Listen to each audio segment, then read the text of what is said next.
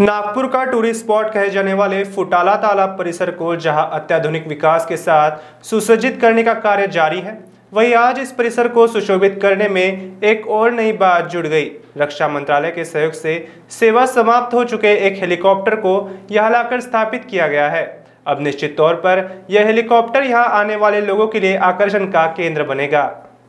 स्वतंत्रता के अमृत महोत्सव के मद्देनजर देश भर के लोगों में देश और अपने सुरक्षा बलों के प्रति अभिमान और अपनेपन की भावना का संचार हो।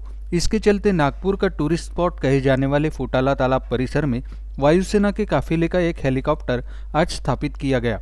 अब फुटाला तालाब परिसर में आने वाले पर्यटन प्रेमियों को नज़दीक से इस हेलीकॉप्टर का दीदार होगा।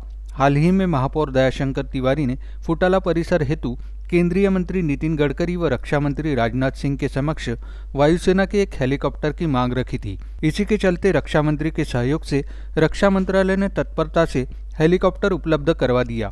फुटाला परिसर में आगामी दिनों में विश्व स्तर के म्यूजिकल फाउंटेन को भी स्थापित करने की प्रक्रिया जारी है। अब हेलीकॉप्टर के आ जाने से फुटाला परिसर की सुंदरता में चार चाँद तो लगेंगे ही और नए सुशोभीकरण से नागपुर का नाम भी रोशन होगा।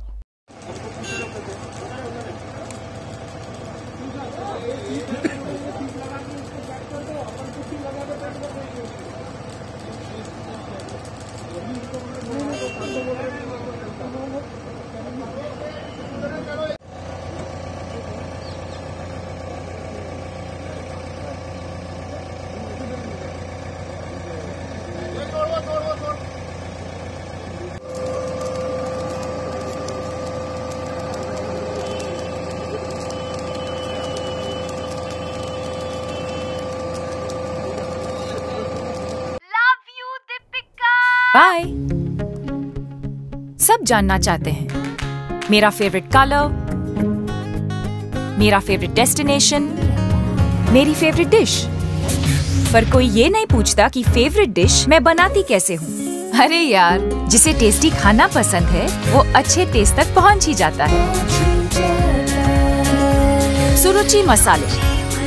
खाने में हो रुचि तो घर लाइए सुरुचि।